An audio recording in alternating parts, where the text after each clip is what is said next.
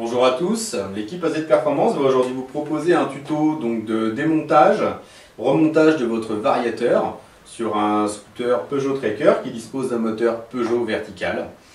Euh, vous verrez également que par le biais de cette intervention, on peut également changer les galets du variateur dans le cas d'un réglage ou éventuellement du remplacement de repos d'échappement d'origine par un échappement sport. A tout de suite. Voilà donc notre Peugeot Tracker euh, sur lequel nous allons euh, donc attaquer le démontage du variateur. Pour démonter notre carter de transmission euh, qui se trouve ici, derrière lequel se cache de ce côté-ci le variateur et de ce côté-là l'embrayage, ainsi que votre courroie bien sûr, nous allons devoir démonter les 7 vis qui se trouvent tout le tour du carter de kick la visserie d'origine euh, est normalement euh, une visserie pour laquelle vous devez utiliser donc soit une euh, clé à pipe de 8 avec un tournevis pour pouvoir la démonter. En l'occurrence ici, donc on, est, on a en fait monté des vis CHC qui sont des vis BTR pour beaucoup. pour démonter ces vis là, il faudra démonter donc utiliser soit un cliquet avec l'embout à laine de 5, soit une clé à laine de 5 pour pouvoir démonter ces vis. On va donc démonter notre carter de kick.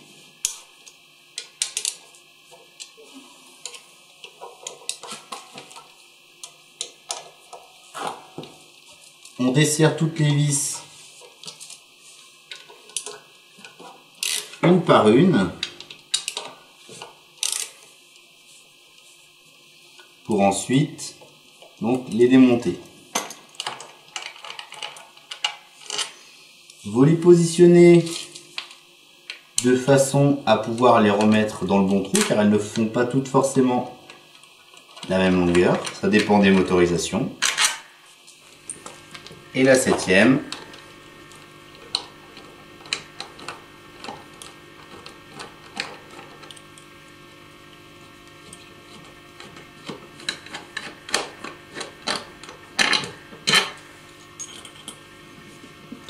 Voilà, vous tirez ensuite délicatement votre carter de kick vers vous. Et celui-ci se démonte très bien. Donc on voit ici le bloc embrayage avec la cloche d'embrayage, le correcteur de couple et l'embrayage qui sont ensuite un seul morceau derrière, votre courroie, votre variateur. La pièce qui est ici sert au démarrage électrique. Donc pour pouvoir démonter euh, le variateur par exemple, il va falloir d'abord poser donc un bloc piston. Pour pouvoir démonter votre bougie et ainsi installer un bloc piston sur votre moteur euh, Peugeot vertical, en l'occurrence ici sur un tracker, il faut donc ouvrir le coffre et accéder à cette petite trappe qui est clipsée, qui permet d'accéder donc euh, à la bougie et au cylindre qui se trouve en dessous. Vous attrapez ensuite votre antiparasite avec la main que vous tirez vers le haut afin de le débrancher. Vous avez ensuite accès à votre bougie. Pour démonter la bougie, nous on va utiliser une clé à pipe de 21 débouchée, c'est-à-dire qu'ici elle est percée à travers, comme ça la bougie va dépasser. Sinon vous utilisez une clé à bougie. Donc on positionne la clé.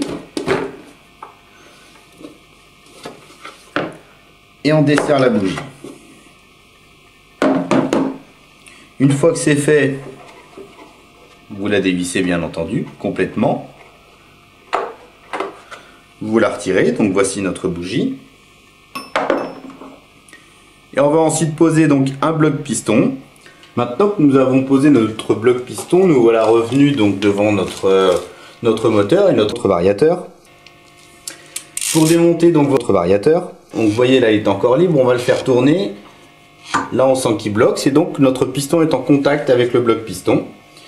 Il va donc falloir utiliser soit une clé à pipe de 14, puisque c'est un écrou de 14 sur les moteurs Peugeot, ou un cliquet avec une douille de 14. Vous vous mettez en contact.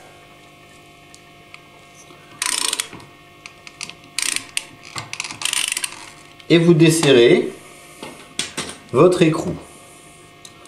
On l'enlève ensuite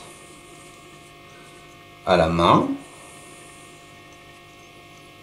En même temps, on retire donc l'ajout fixe de variateur. On va positionner l'écrou dedans, comme ça on ne va pas chercher lors du remontage. Pour pouvoir sortir votre courroie, il va falloir comprimer votre correcteur de couple à la main afin de faire rentrer la courroie un petit peu dedans et libérer. Ça va détendre la courroie. Vous le comprimez à la main, voilà. Là, on voit bien que, donc notre courroie est rentrée dans le correcteur de couple. On peut ensuite retirer la courroie et ainsi avoir accès à notre variateur. Pour le sortir, on passe les mains derrière et on voit qu'il vient, qu'il se démonte très facilement. Donc voilà le variateur de, donc, de moteur Peugeot vertical que nous venons de démonter. Donc il est dans l'état exact euh, d'emplacement de, la façon dont il se trouve normalement dans, votre, dans notre moteur. Donc on va pousser légèrement sur le canon. Donc on enlève la flasque de variateur. On peut ensuite retirer notre canon de variateur. Et on a ainsi accès à nos 6 galets de variateur. Là, en l'occurrence, comme notre moteur est d'origine, ce sont des galets de 8 grammes 5, tous les 6 bien sûr. Si vous changez votre pot d'échappement ou pour différents réglages, vous pouvez donc maintenant remplacer vos galets par des plus légers ou des plus lourds, suivant le, résultat que vous voulez obtenir. Et euh, donc ainsi régler votre moteur. On retire donc nos 6 galets.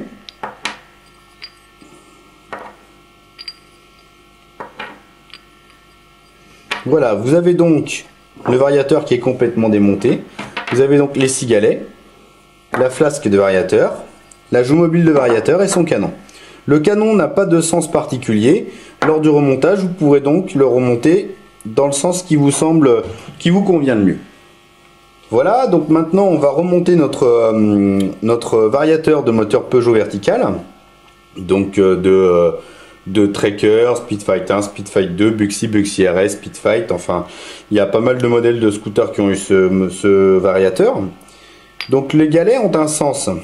Quand votre variateur tourne, il tourne dans ce sens-là, dans le sens inverse des aiguilles d'une montre. Quand vous regardez vos galets, vous voyez qu'il a un côté où on voit très bien la masse en acier ou en aluminium ou même en laiton. Et de l'autre côté où il est légèrement couvert par le côté plastique. Quand votre variateur tourne, il a donc tendance à venir taper les galets. Il faut donc mettre la partie plastique du côté où il va venir être choqué. Donc on va mettre les galets dans ce sens-là. Comme ça. Comme ça. On les positionne bien sûr tous les six de la même manière. Voilà. Vous pouvez ensuite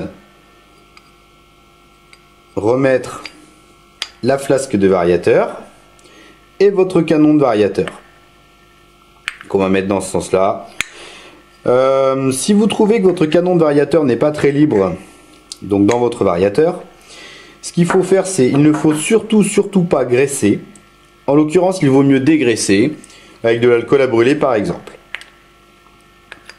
voilà donc là notre variateur est remonté complet et est prêt à être remis en place dans notre moteur. Maintenant, nous allons donc remettre en place notre variateur. Vous le positionnez sur votre vilebrequin. Il doit glisser quand on le replace. Vous positionnez votre courroie qui reste détendue, c'est normal. On remet ensuite en place notre joue fixe de variateur. Vous faites bien attention sur les moteurs Peugeot verticaux comme ça, le vilebrequin est cannelé au bout, ce qui signifie qu'il n'est pas lisse, il y a des petites stries qui sont identiques à celles qui se trouvent à l'intérieur de votre joue fixe. Il faut donc bien les placer. Vous mettez ensuite votre écrou. On voit que la, joue fixe bouge encore. Vous poussez votre courroie avec deux doigts à l'intérieur et vous approchez votre écrou. On voit maintenant que la joue fixe n'a plus de jeu. On peut donc maintenant faire tourner notre, notre joue fixe et donc le vilebrequin afin de mettre notre piston en contact et ainsi resserrer notre variateur. Une fois que vous êtes bien en contact,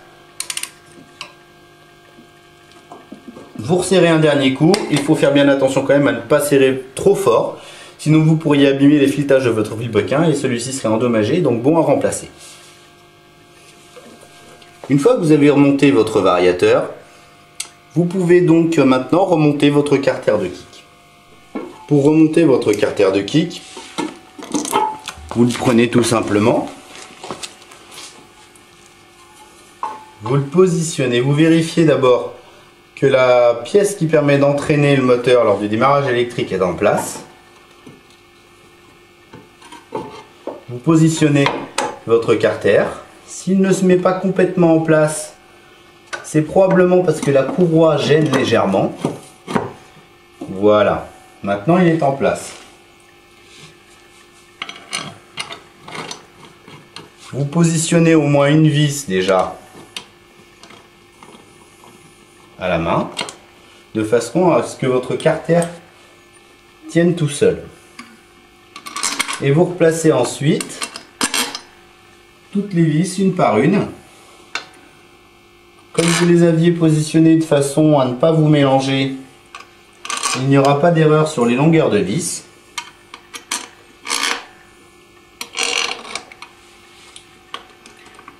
Et une fois que c'est fait, en maintenant votre carter en place, vous pouvez donc resserrer vos vis. Une fois que vous avez remis en place chacune de vos vis, vous pouvez donc commencer à les resserrer, une par une. Vous ne les bloquez pas. Vous les serrez à fond par exemple et vous les redesserrez d'un quart de tour afin que les vis suivantes puissent se visser correctement. Voilà, maintenant qu'elles sont toutes prises, on va pouvoir les bloquer. Donc pour bloquer nos vis, on reprend l'outil qui nous a servi à démonter.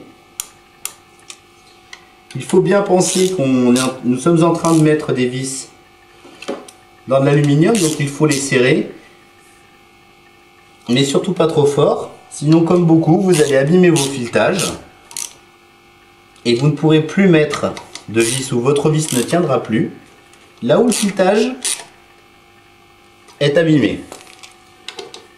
Voilà, nous avons donc maintenant remonté notre carter de kick. Donc lorsque vous n'en avez plus besoin, vous pouvez donc ensuite retirer votre bloc piston. Voilà, vous le desserrez.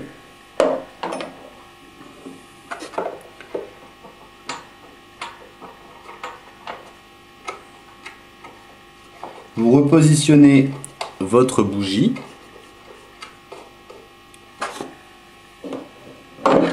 Que vous resserrez comme vous l'avez enlevé. Donc nous c'est toujours une clé à pipe de 21. Mais vous pouvez très bien avoir une clé à bougie.